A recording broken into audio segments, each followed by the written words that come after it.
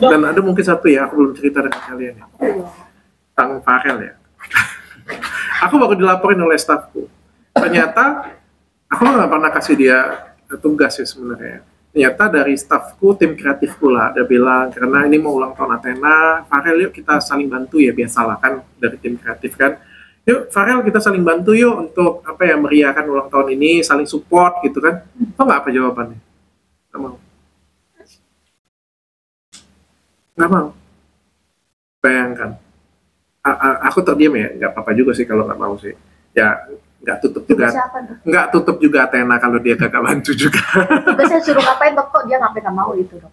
Eh, disuruh buatin video aja kayak gitu punya eh Athena mau ulang tahun nih kayak gitu yang ke 10 tanggal 18 nanti Insya Allah nanti Farel mau datang nih dari timku pada baru cerita di mereka eh, tahu ngomong dengan Farel yuk Farel kita buat video yuk kan artis-artis lain juga dimintain kan dimintain tolong kan apalagi kan relasi-relasi cuma kayak gitu jawabannya apa Nanya alasannya dok?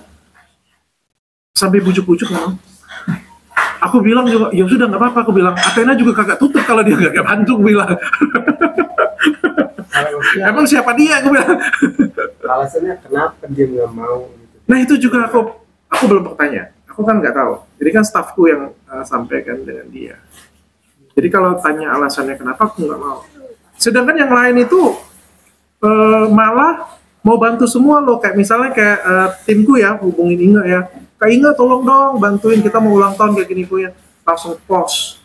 Besoknya langsung post juga kayak gitu punya kan. Jadi benar-benar helpful banget. Bahkan udah kami mau bantu semuanya, pengen kasih semua energi lah ke sana semuanya. Ini sumpah nyebelin banget loh, aku baru tahu. Sampai senyebelin itu. Apa ya kalau misalnya kita mungkin kalimat yang pas itu apa ya nggak tahu diri ya. Berarti lost kontak dok? aku nggak blok dia, tapi aku nggak mau baca chat dia.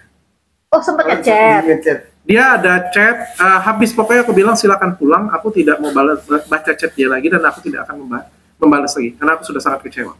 Dari pihak tim lain mungkin ada yang mencoba Farel chat. Aku nggak pernah suruh apa pun, jadi eh, Artinya Farel men- mencoba menghubungi pihak dokter tapi dari tim mungkin Mungkin. asisten atau mungkin, tapi yang lain juga kecewa banget.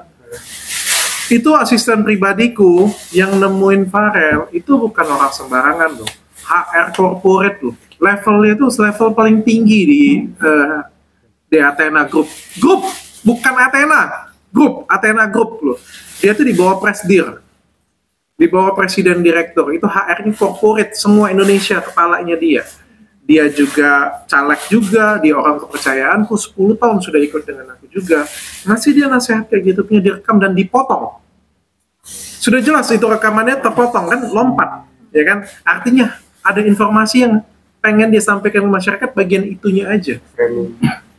Apa tujuannya coba? Apa sih yang tersebar apa? Masalah apa sih?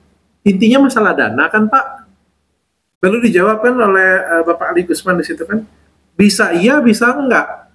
Ya kan? Eh, kalau masalah dana saya, saya balikin Pak katanya kan. Enggak, enggak mau, nanti kamu kabur katanya kan. Bahkan di situ Pak Ali Gusman ngomong, kalau kamu nggak bisa balikin ya balik aja sekolah.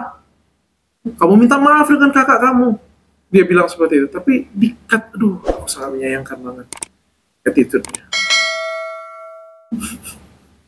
seru seru Saya juga kecil.